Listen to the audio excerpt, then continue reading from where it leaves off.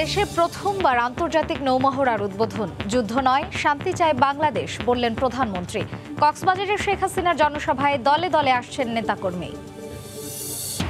শুধু পশ্চিমাদের উপর নির্ভর না করে কমনওয়েলথকে উচিত আফ্রিকায় ব্যবসা সম্প্রসারণ করা। লন্ডনে সালমান এফ রহমান, জলবায়ু হুমকি মোকাবিলায় কাজ করবে ঢাকা, লন্ডন।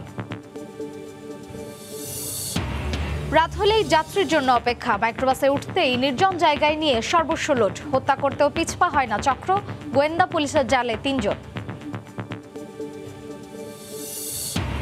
বুক না কেটে শুধু ছিদ্র করে হার্টের ভাল্ব প্রতিস্থাপন। সজ্ঞানেই থাকেন রোগী। হৃদরোগ ইনস্টিটিউটের টাভি পদ্ধতিতে সফলতা। অর্ধেকের কম খরচে আসার আলো দেখছেন বিশেষজ্ঞরা।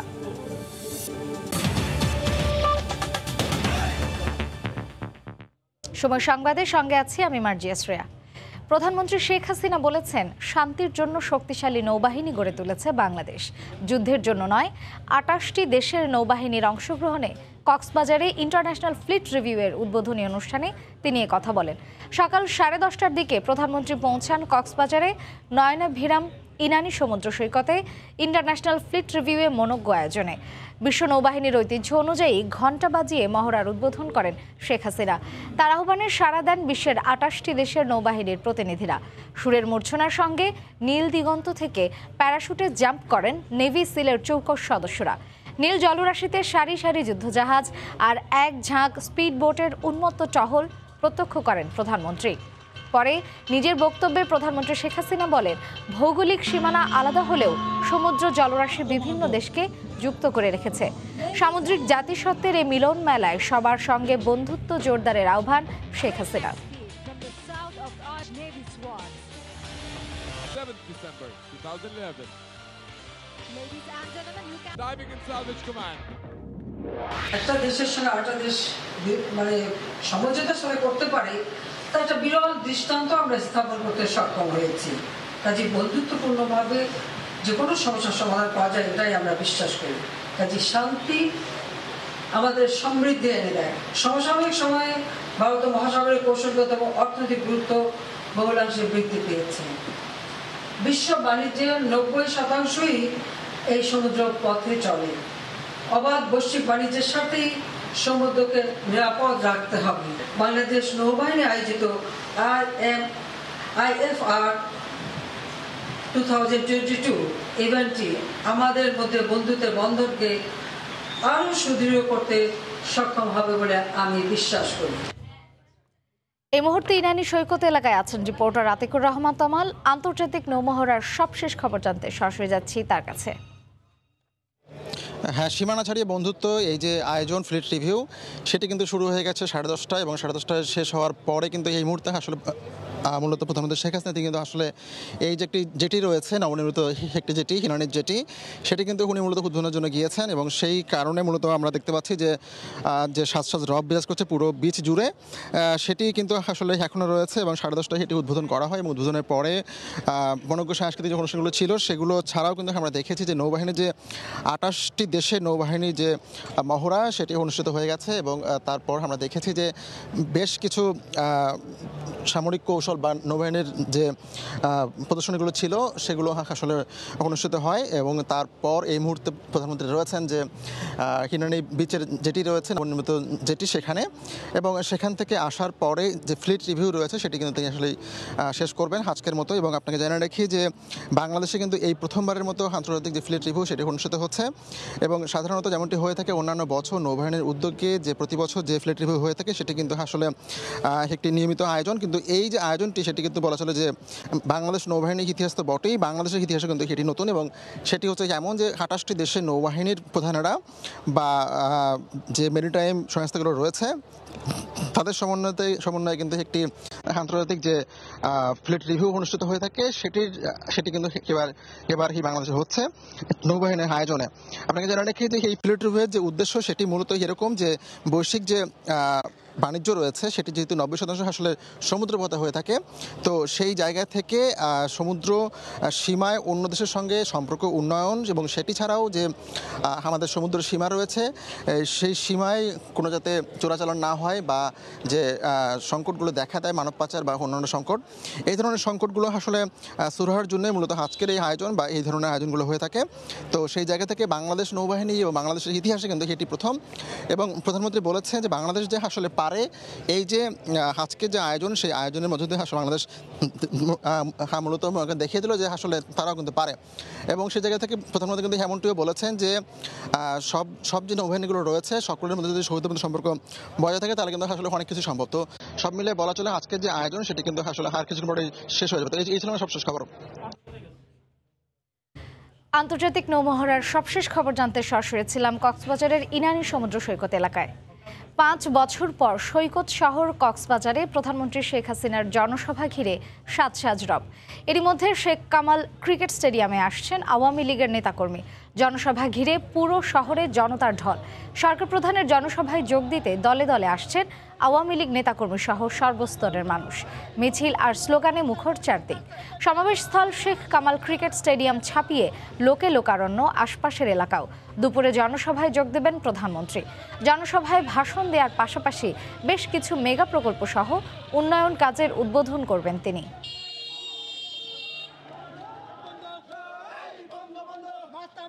এই কক্সবাজারত যেভাবে উন্নয়ন করছে এই উন্নয়ন আর মাতামুরি তথা কক্সবাজারবাসী বলিবার মতো নয়।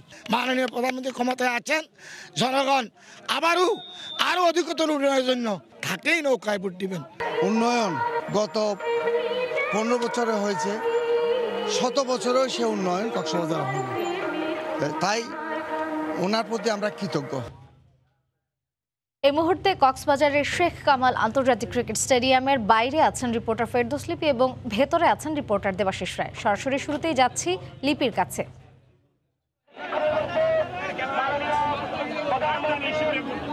প্রায় পাঁচ বছর পর কিন্তু কক্সবাজারে কোনো রাজনৈতিক জনসভায় বক্তব্য রাখবেন প্রধানমন্ত্রী আওয়ামী লীগ সভাপতি শেখ হাসিনা।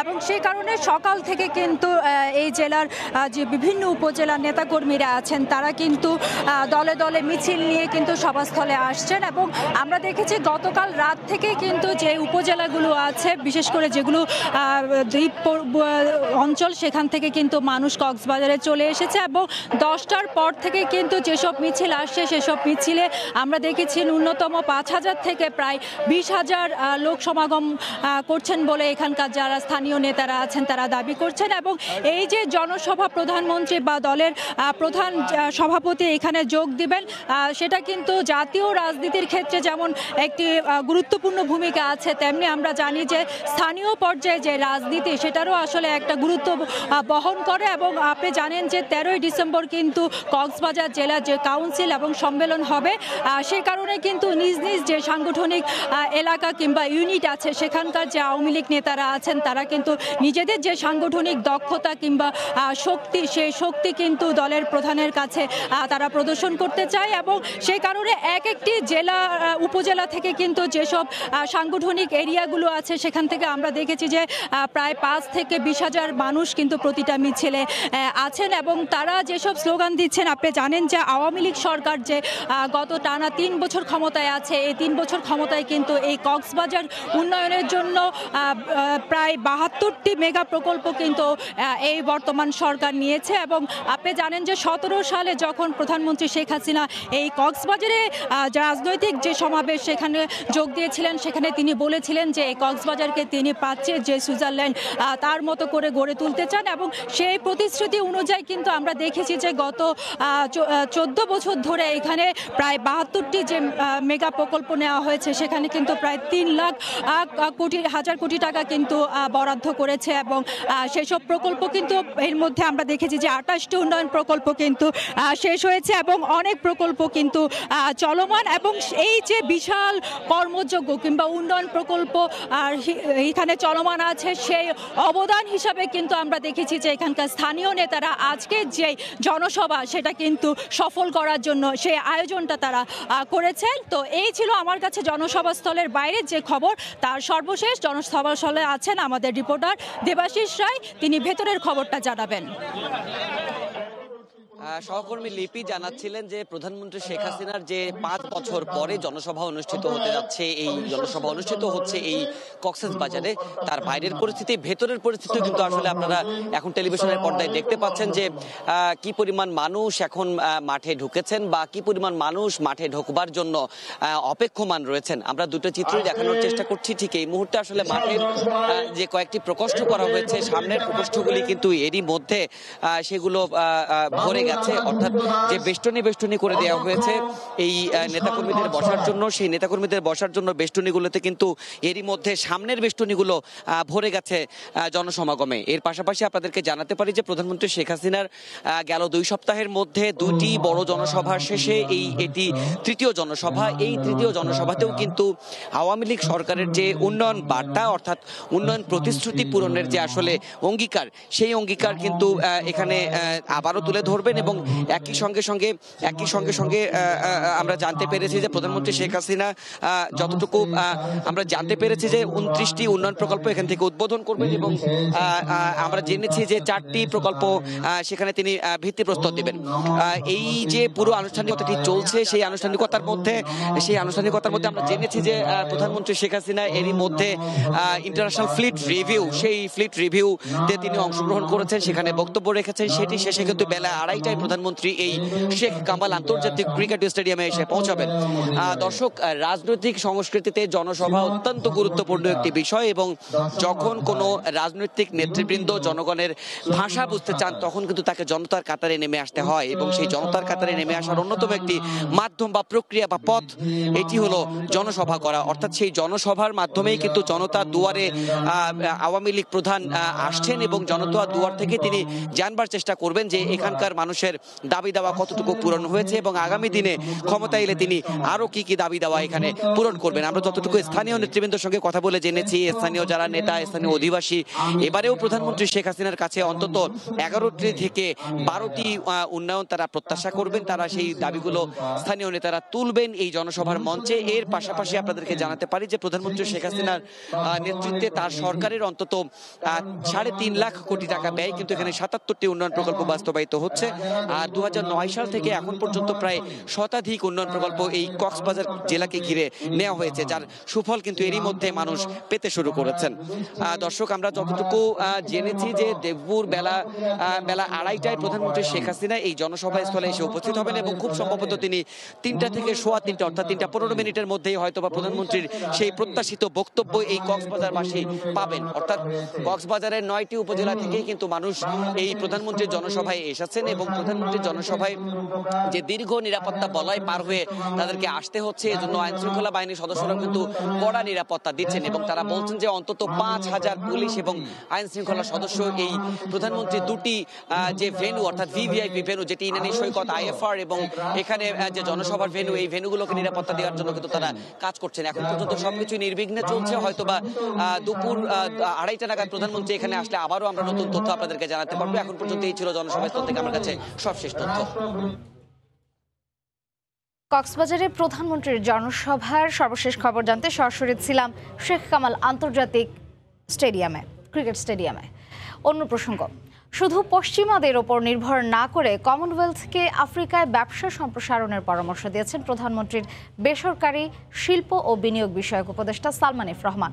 লন্ডনে কমনওয়েলথ ট্রেড অ্যান্ড ইনভেস্টমেন্ট সামিটের সমাপনী অনুষ্ঠানে তিনি কথা বলেন। জলবায়ু হুমকি মোকাবিলায় ঢাকা, লন্ডন একযোগে কাজ করবে বলেও জানান বক্তারা। বি থেকে সোয়েব শোয়েব কবিরের রিপোর্ট।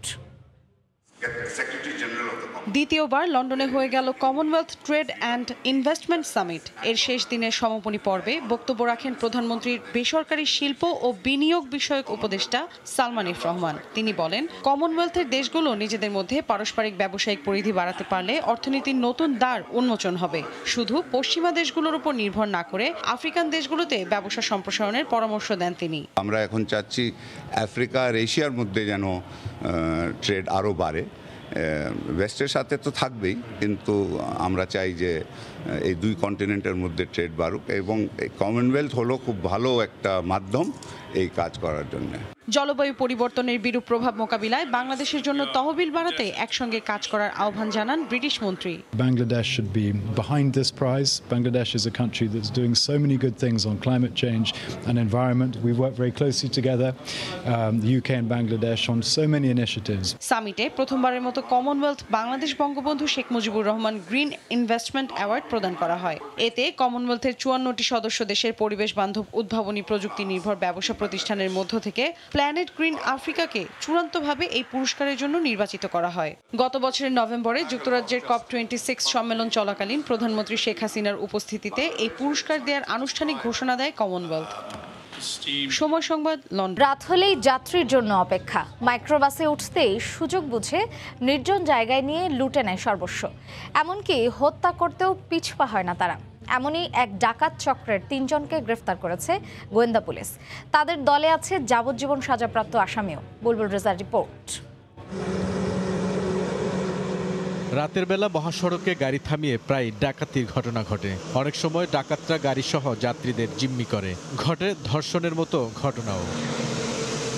একদল ডাকাত আবার প্রাইভেট কার কিংবা মাইক্রোবাস নিয়ে মহাসড়কের আশপাশে অবস্থান করে। গভীর রাতে যানবাহনের অপেক্ষায় আছেন এমন যাত্রীরাই তাদের মূল টার্গেট খিলক্ষেতের একটি ডাকাতি মামলা তদন্ত করতে গিয়ে পটুয়াখালী, বরগুনা ও বরিশালে অভিযান চালিয়ে গোয়েন্দা পুলিশ তিন ডাকাতকে গ্রেফতার করেছে। এই দলটি চোদ্দ সেপ্টেম্বর রাতে রাজধানীর তিনশো ফিট এলাকায় মাইক্রোবাসে যাত্রী হিসেবে তুলে সর্বস্ব ছিনিয়ে নিয়ে ভুক্তভোগীকে ফেলে গিয়েছিল রূপগঞ্জের কাঞ্চন ব্রিজের পাশে। তদন্তে বেরিয়ে আসে সাত থেকে আট সদস্যের দলটি। দু হাজার সাত সাল থেকে মাইক্রোবাসে যাত্রী তুলে নিয়মিত ডাকাতি করে আসছিল। ঢাকা থেকে বের হওয়ার মহাসড়কগুলো, বিশেষ করে তিনশো ফিট, ঢাকা সিলেট, ঢাকা মাওয়া, ঢাকা টাঙ্গাইল এবং ঢাকা গাজীপুর হাইওয়ে তাদের বিচরণ স্থল। রাতে যানবাহনের জন্য অপেক্ষারত যাত্রীদের মাইক্রোবাসে তুলে ডাকাতি করে তারা। মিরপুর থেকে টাঙ্গাইলগামী অনেক বাসেও তাদেরকে যাত্রী কথা বলে তো ভোরবেলা তোলা হয়। তুলে একটা পর্যায়ে কাজ নিয়ে তার ডাকাতরা তাদের কাছ থেকে সর্বস্ব চিনি আবার ধাক্কা দিয়ে ফেলে চলে যায়। এরকম ঘটনা টাঙ্গাইল লুডো হয়েছে তিনশো ফিটে হচ্ছে এবং আমরা মাঝে মাঝে আশুলিয়ত হচ্ছে। এই চক্রটির অন্যতম সদস্য দেলোয়ার হোসেন ওরফে সল্টু যাবজ্জীবন সাজাপ্রাপ্ত আসামি। আরেক সদস্য আলমগীর দশ বছরের সাজাপ্রাপ্ত। ডাকাতিতে বাধা দেয় দু হাজার বারো সালে তারা একজনকে খুন করেছিল। জামিনে বেরিয়ে আবারও তারা দলকে সংগঠিত করেছে। এর আগে এরকম ঘটনা করতে গিয়ে একজনকে মেরে ফেলেছিল। এবং তার যাবজ্জীবন কারাদণ্ড হয়েছিল এবং এই- এই আসামিকে আমরা গ্রেপ্তার করেছি। মহাসড়কগুলোতে তারা দুইশোর বেশি ছিনতাই ও ডাকাতির কথা স্বীকার করেছে। এরকম অফারের সাড়া না দিয়ে বুলবুল রেজা সময় সংবাদ ঢাকা। ফুটবল বিশ্বকাপের খবর।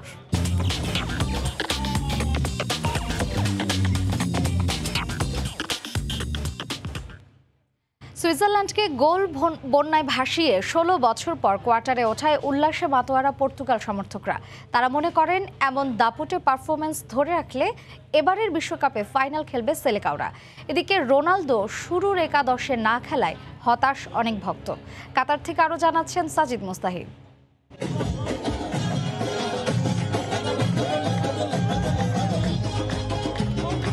বিশ্বকাপের মঞ্চ থেকে জন্ম নেয় নতুন নতুন সব তারকা। ওয়ার্ল্ড কাপের রাউন্ড অফ সিক্সটিনে পর্তুগাল সুইজারল্যান্ড ম্যাচের আগে ঠিক কজন পর্তুগাল সমর্থক নাম জানতেন? গনসালো রামোসের তবে এই ম্যাচের আগে বড় একটা বাজি খেলেন তাদের কোচ ফার্নান্দো সান্তোস রোনালদোকে বেঞ্চে বসিয়ে তিনি স্টার্ট করেন এই গনসালো রামোসকে এবং এই একুশ বছর বয়সী স্ট্রাইকার দেখিয়েছেন তার ম্যাজিক করেছেন ফিফা ওয়ার্ল্ড কাপ দু হাজার বাইশের প্রথম হ্যাট্রিক তার হ্যাট্রিকে একেবারে বলা যায় সুইজারল্যান্ডকে উড়িয়ে দেয় Portugal gonna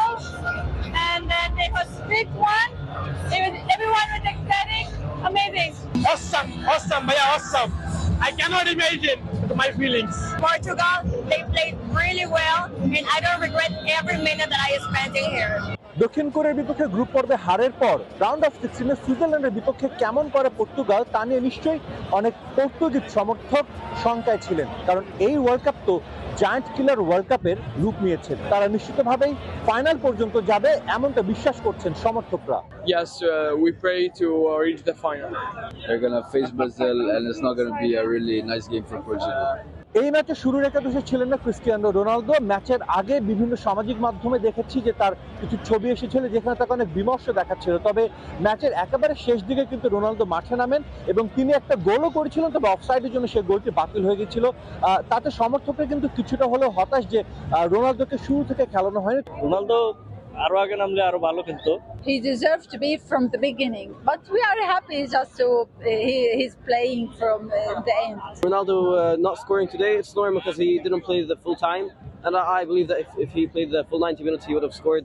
And his offside goal, yeah, I, I wish that it would, it would have counted, but unfortunately it didn't. Brazil Argentina France এই দলগুলোকেই এতদিন বিশ্বকাপের ফেভারিট ধরা হচ্ছিল। তবে সুইসদের বিপক্ষে এমন পারফরমেন্সের পর অবধারিতভাবেই সেই তালিকায় যুক্ত হবে পর্তুগালের নামও। আর পরের ম্যাচগুলোতে আত্মবিশ্বাসের তুঙ্গে থেকে মাঠে নামবে সেলেকাওরা লুসাইল স্টেডিয়ামের সামনে থেকে সাজিদ মুস্তাহিদ সময় সংবাদ কাতার। প্রবেশপত্রের ছবি পরিবর্তন। টাকার বিনিময়ে প্রক্সি দিয়ে ভর্তির ব্যবস্থা করে দিচ্ছে অন্যকে। এমন অভিযোগ রাজশাহী বিশ্ববিদ্যালয়ের এক ছাত্রের বিরুদ্ধে। এ বিষয়ে প্রমাণ পেলেও নির্বিকার বিশ্ববিদ্যালয় কর্তৃপক্ষ। অভিযোগ পেলে জড়িতদের আটক করে আইনের আওতায় আনা হবে বলে জানান র্যাব। সাইফুর রহমান রকির রিপোর্ট। ফারহান মাহিন রাজশাহী বিশ্ববিদ্যালয়ের ত্রিপল ই বিভাগের তৃতীয় বর্ষের শিক্ষার্থী। অভিযোগ উঠেছে, অন্যের হয়ে ভর্তি পরীক্ষা দিয়ে দুই হাজার একুশ বাইশ শিক্ষাবর্ষে বেশ কয়েকজন শিক্ষার্থীকে টাকার বিনিময়ে নামিদামি পাবলিক বিশ্ববিদ্যালয়ে চান্স পাইয়ে দিয়েছেন। অনুসন্ধানে উঠে আসে সবশেষ রাজশাহী বিশ্ববিদ্যালয়ের ভর্তি পরীক্ষায় সি ইউনিটে আলিফ হোসাইন নামের এক পরীক্ষার্থীর প্রবেশপত্রের ছবি পরিবর্তন করে পরীক্ষায় অংশ নিয়ে ভর্তির সুযোগ করে দেন। এছাড়া চলতি শিক্ষাবর্ষে ঢাকা বিশ্ববিদ্যালয়ের ক ইউনিটের সিফাতুন নূরের হয়ে ও গুচ্ছ পদ্ধতিতে এ ইউনিটে সুলতানুল আরিফিনের হয়ে পরীক্ষায় অংশ নিয়ে ভর্তির সুযোগ করে দেন মাহিন। সবকিছু নিশ্চিত হওয়ার পরও নির্বিকার প্রশাসনের কর্তা ব্যক্তিরা। ঢাকারটার সাথে এবং এখানকারটার সাথে নাটোরের একটা সিন্ডিকেটের যোগাযোগ আছে। তো এগুলো র্যাবের প্রাথমিক তথ্য আমরা পেয়েছি তো এগুলো এখনও প্রকাশ করছি না। আর আমাদের ভর্তিটা কমপ্লিট হয়ে গেলে আমরা সেই ব্যাপারে সিদ্ধান্ত নেব। মাহিন কেমিস্ট্রি কোচিং সেন্টার থেকে টাকার বিনিময়ে ভর্তি হতে আগ্রহী শিক্ষার্থী ও অভিভাবকের সঙ্গে চুক্তি করে। কেমিস্ট্রি কোচিংয়ে গিয়ে মাহিনকে এ নিয়ে প্রশ্ন করতেই কথা বলবেন না বলে দরজা বন্ধ করে দেন। আর আমি এই বিষয়ে আপনাদের সঙ্গে কথা বলতে ইচ্ছুক না। বিশ্ববিদ্যালয়ের প্রক্টর জানান বেশ কয়েকজন শিক্ষার্থীর জালিয়াতি করে ভর্তির বিষয়টি আইসিটি সেন্টার থেকে নিশ্চিত হয়েছেন তারা। যখন এটা আমরা গোয়েন্দা সংস্থা থেকে খবর পেলাম তখন তো ওই রুল নম্বরটা আমরা প্রথমে আইসিডি সেন্টার তাদেরকে দেখলাম তাদের মধ্যে হিট লিস্ট ওইটা আছে। অবশ্য র্যাবের অনুসন্ধানে এই চক্রের সঙ্গে জড়িত বেশ কয়েকজনের নাম উঠে আসলেও বিশ্ববিদ্যালয় প্রশাসনের অনীহার কারণে তাদের আটক করতে পারছেন না। কিছু জায়গায় আমরা আটকে যাই। যেমন হলো এই ক্ষেত্রে আমরা স্বপ্রণোদিত হয়ে কোনো কেস করতে পারি না। ঠিক আছে? এই সমস্ত জায়গায় আইদার ভিকটিম অথবা কনসার্ন অথরিটিকে কেস করতে হয়। জানা গেছে, মাহিনের স্ত্রী মনিরা ইসলাম খুলনা মেডিকেলে ইন্টার্ন করছেন। অভিযোগ রয়েছে, তিনিও অন্য মেয়ের হয়ে প্রক্সি পরীক্ষা দেন। সাইফুর রহমান, রকি। সময় সংবাদ, রাজশাহী। বুক না কেটেই শুধু ছিদ্র করে প্রতিস্থাপন করা হচ্ছে হার্টের ভাল্ব আর এতে রোগীকে অজ্ঞানও করতে হয় না। হৃদরোগ ইনস্টিটিউটের টাভি পদ্ধতিতে অস্ত্রোপচারে খরচ লাগছে বেসরকারি হাসপাতালের তুলনায় অর্ধেকেরও কম। এতে আশার আলো দেখছেন বিশেষজ্ঞরা। রাশেদ লিমনের রিপোর্ট। দোসরা ডিসেম্বর, রাজধানীর হৃদরোগ ইনস্টিটিউট হাসপাতাল। কার্ডিয়াক সার্জনের হাতে সরকারি কোনো হাসপাতালে টাভি পদ্ধতিতে ভালভের প্রতিস্থাপন এবারই প্রথম। গল্পটা ফজলুর রহমানের। বাইপাস করেও স্বস্তি মিলছিল না। পরে জানতে পারলেন তার ভালভ প্রতিস্থাপন করতে হবে। দিক বেদিক ছুটাছুটি, চিকিৎসকরা জানালেন, আরেক দফা অপারেশন ঝুঁকিপূর্ণ। খুঁজতে হবে বিকল্প পথ। তখনই জানতে পারেন টাভি পদ্ধতির কথা। দেশের বাইরে খরচ কোটি টাকার বেশি। এদেশে যে দু একটি বেসরকারি হাসপাতালে করা হয়, সেই খরচটাও প্রায় চল্লিশ লাখ। তখনই জাতীয় হৃদরোগ ইনস্টিটিউটে ফজলুর রহমান। পরামর্শ দিয়েছিলেন সিঙ্গাপুরে যাওয়ার জন্য। দ্বিতীয় সরি, সিঙ্গাপুরে ট্রিটমেন্ট করার মতো লোক, আমি না, আমি পারব না। এরপর সেকেন্ড তাহলে ইন্ডিয়াতে করান। বেসরকারি হাসপাতালে যখন ট্রিটমেন্টটা নেওয়ার জন্য গিয়েছিলাম। তখন ওনারা আমাকে চৌত্রিশ থেকে ছত্রিশ লক্ষ টাকা লাগবে বলে আমার কাছে ওনারা শুনাইছিলেন। পরের গল্পটা তার কাছে স্বপ্নের মতো। সপ্তাহ ঘুরতে না ঘুরতেই হাসপাতালের বারান্দায় ঘুরে বেড়াচ্ছেন তিনি। পরিবারের আবেগটাও তাই একটু বেশি। মনে হয় যে নতুন যেরকম আমার হাজবেন্ডকে পেয়েছি প্রথম আমার শেষ জীবনের কথা মনে পড়ে গেলেই অতটুকু ভিতরেই আমার। চিকিৎসকরা বলছেন এমন ঝুঁকিপূর্ণ রোগীর ক্ষেত্রে এই পদ্ধতি হতে পারে নতুন জীবনের পথ।